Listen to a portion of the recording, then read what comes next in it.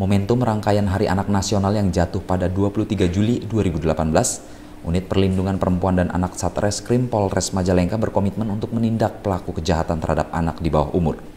Terbukti selain menangkap pelaku kasus pencabulan, jajaran unit PPA Satreskrim Polres Majalengka juga menata spesial ruangan ramah anak di kantor tersebut. Unit Perlindungan Perempuan dan Anak Satreskrim Polres Majalengka dalam rangkaian Hari Anak Nasional juga memberikan perlakuan spesial bagi kasus-kasus yang menimpa anak di Kabupaten Majalengka. Unit PPA Satreskrim Polres Majalengka sudah lama membuat ruangan khusus ramah anak bagi para anak yang berurusan dengan hukum.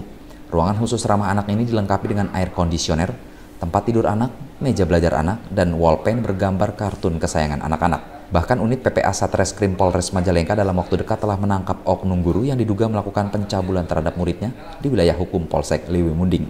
Saat ini kasusnya sedang dalam penyelidikan terkait masalah apa pun mengenai anak, kita Polres Majalengka sudah berkomitmen baik dari diri kita, unit kita, Satreskrim Polres Majalengka maupun dengan Pemda sudah kita ajak maupun dengan instansi lain seperti Bapas.